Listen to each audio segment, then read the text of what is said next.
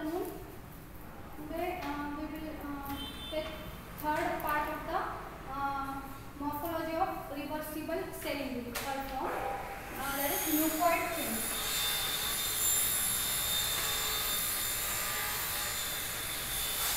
Now mucoid change is mucus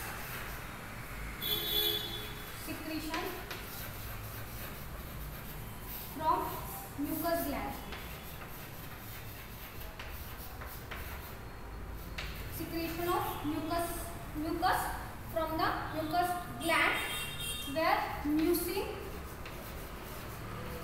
that is a glycoprotein is a chief constituent of this mucus secretion. Hmm? So secretion of mucus from the mucus gland where the mucus contains mucin. Mucin is a glycoprotein and is a chief con- constituent, con- uh, constituent of this mucus secretion. Now, uh, mucin is normally produced by the epithelial cells of the mucous membrane. This mucin is produced by the epithelial cells of mucous membrane. Mucin is normally secreted by the epithelial cells of the mucous membranes and mucous gland as well as by some connective tissues. Now, mucin is secreted from the epithelial cells also and from the connective tissues also.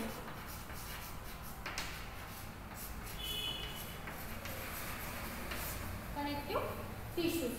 Uh, so, there are two uh, types of the mucin, uh, epithelial cell mucin and connective tissue mucin. Now, first is epithelial cell mucin. Epithelial mu- cell mucin, there are some examples of functional excess of epithelial mucin. Where there is excess of the epithelial mucin, so there are some examples. Now, first is catarrhal inflammation like in respiratory tract inflammation, catarrhal inflammation of the mucous membrane. For example, in the respiratory tract or uh, alimentary tract infection or uterine infection. Second is obstruction of the duct leading to mucocele. Mucocele that is collection of the mucus, hmm, where there is increased the synthesis of the mucin. So, obstruction of the duct leading to the mucocele in oral cavity and in gallbladder infection. And mucus secreting tumors where there is uh, secretion of mucus hmm? uh, and mucin. So mucin secreting tumors for example tumors of the ovary that is ovarian tumors or tumors of stomach or tumors of large bowel. So these are some examples where there is secretion of the epithelial cell mucin. Hmm? And second is the connective tissue mucin.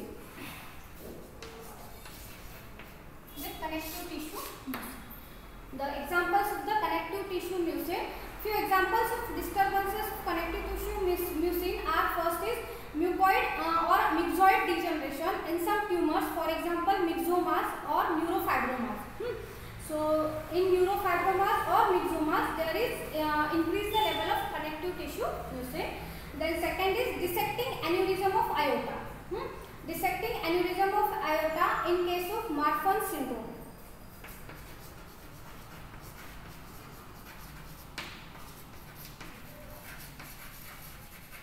Here also there is increase the uh, connective tissue mucin. It is a hereditary disorders where there is increased secretion of connective tissue mucin. Uh, third is myxomatous changes in the dermis in myxoedema, myxoedema.